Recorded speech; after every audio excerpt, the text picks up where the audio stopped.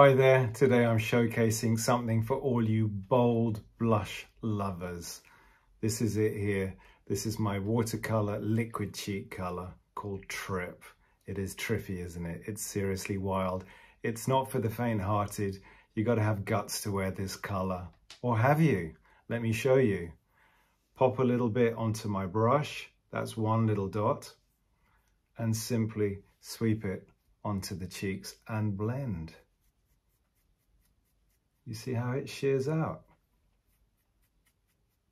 In the bottle, it looks really bold. And of course it still is pretty bold, isn't it?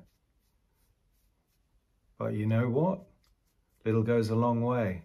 Stretch that color onto your cheeks. Use the brush. This is my water brush. Flick it into place. Blend it. Blush doesn't have to be boring. I love this color on fair skins. Goes great with a bolder lip. And in fact, I've got it on my lips as well because you can wear watercolors on eyes, lips and cheeks. I've just got some nudie brown pencil. It's my cappuccino pencil. Where is it? Where is it? Here it is. This is it here. So I applied that first.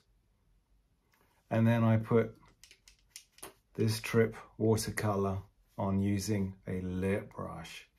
But look, I'm just blending what's on there. Seamless, natural. A very fine hint of a sheen because this blusher has a satin finish.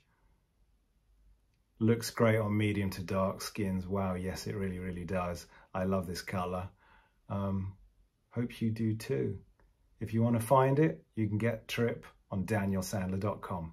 Thanks, guys. Take care. Lots of love. See you next time.